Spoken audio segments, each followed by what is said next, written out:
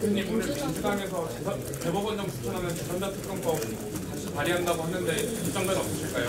예, 입장 변화 없습니다. 아직 내용은 제가 보지를 않았기 때문에 구체적인 내용에 관해서 어, 입장을 얘기할 단계는 아닙니다. 다만 민주당이 지금 어, 두 번이나 저희들이 에, 최상병 특검 법안에 에, 그 어, 숨은 나쁜 의도, 즉 정쟁용으로 어, 대통령 어, 탄핵을 을, 빌드업하기 위한 어, 업무다. 아, 저희들은 그렇게 생각하기 때문에 에, 특검에 대해서는 기존 입장대로 수사기관의 수사 결과가 발표된 뒤에 에, 그것이 미진하다고 생각할 때 에, 특검을 고려한다. 이 입장에 변화가 없다는 점을 다시 한번 분명히 말씀드립니다. 대표님 환자단체에서도 어제 입장문 내고 그 의료정원 증후 근무 규정이 유일한 해법이다. 26년도 중앙근무업이 정부가 나서서 논의해야 된다. 이렇게 입장 냈는데 변화 입장 변화 없으세요? 예, 25년 정원은 여야가 아, 대표 회동에서 확인을 했습니다. 정원은 지금 더 이상 조정할 수 없는 어, 단계다 이렇게 확인을 했고 26년과 관련해서는 정부에서도 일단 열린 자세로 의료계에서 어, 정원에 관해서 어, 논의를 하고 거기에 타당한 과학적 근거가 있다면은 언제든지 유연하게 융통성 있게 에, 협의에 임하겠다 하는 입장을 밝힌 바 있습니다.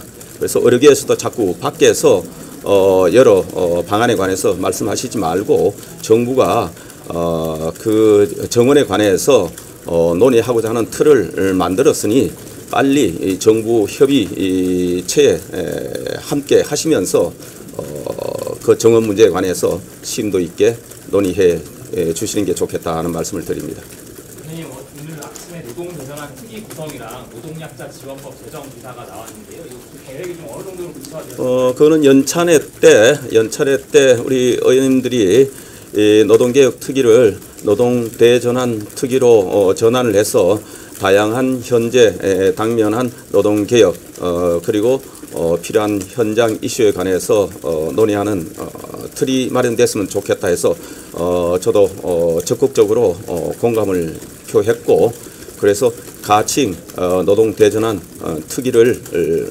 만들어서 그런 현안들 개혁 과제들을 심도 있게 논의하고 대안을 제시하고자 합니다.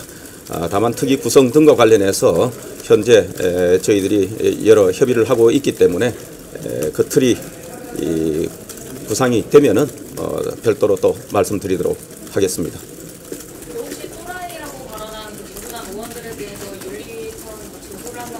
근거하시는지 어, 어제 국방에서 어, 공, 어, 얘기가 있었고 어, 그래서 어제 아마 어, 정해되고 어, 자동 산회된 것으로 알고 있습니다.